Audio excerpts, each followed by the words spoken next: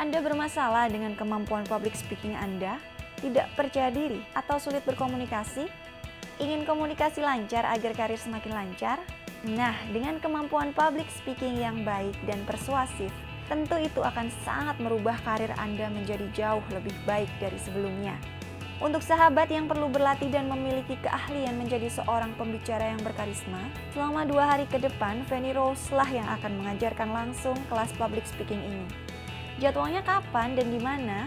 Jadwalnya adalah 27 hingga 28 November 2019 di Hotel Pullman Tamrin, Jakarta. Segera hubungi nomor di bawah ini dan pastikan Anda mendaftar karena pelatihan ini hanya menerima 30 peserta saja. Untuk informasi lebih lanjut, hubungi Rizky di nomor 081 229 478 787.